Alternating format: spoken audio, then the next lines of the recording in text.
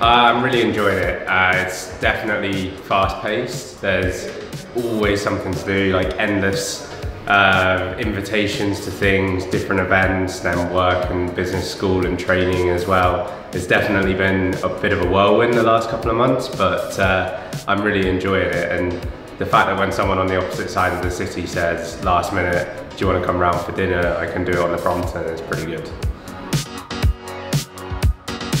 Uh, we're having a great time with the Brompton so far. Um, my partner Sinead's travelling across different schools all around the south of London and the Brompton's given her the freedom to to literally hop on with all of her gear for the sessions that she's running um, and, and move on to the next school. And for me, it's just perfect flexibility. We have two different campuses, um, a gym in another building. I can just dart between them. I can fit the training in around my lectures and it's, it's, it's really made the whole thing seamless. And I've really come to love riding my bike and through the city and loving my commute as well. Get to go straight down the centre of Hyde Park and over the Serpentine and especially through the autumn, like those, uh, there's the leaves started turning and the, and the sun started setting a bit earlier. It just got some amazing, amazing views as I came home.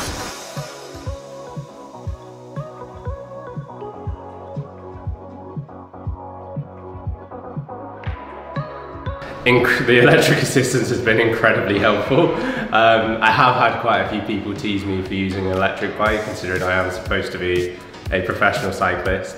Um, I do normally then go on to explain that I'm a sprinter and I need all the help I can get, um, but it doesn't really fly. Uh, but that said, uh, I would not trade it for, for anything. It's been so helpful.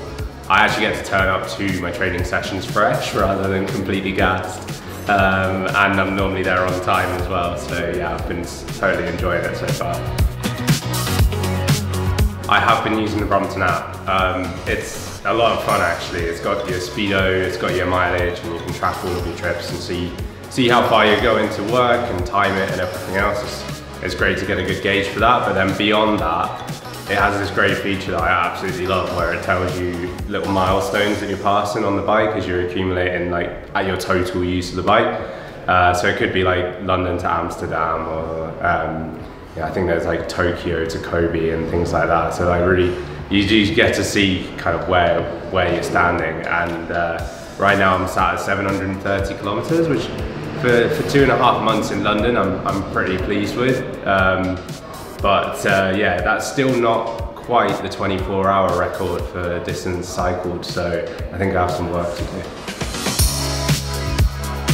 Yeah, generally speaking, really good. Um, there's actually, I expected fewer bike lanes than, than up in Manchester, but generally speaking, apart from one very specific borough that potentially I shouldn't mention, um, it's really, really good. The once I'm through, through a couple of squeeze points, there's lovely path through Hyde Park and through Marylebone and, and uh, all around the centre of London. And generally speaking, it's been completely incident free so far. And uh, yeah, like my partner Sinead, as I mentioned, is, is, she's making her way all around London on her, her Brompton as well. She's never ridden in a city before, and she's uh, she's she's aced it. And I actually think the upright position, the, the electric motor, puts you in a in a safer position for being more aware as you're making your way through the, the tight city streets.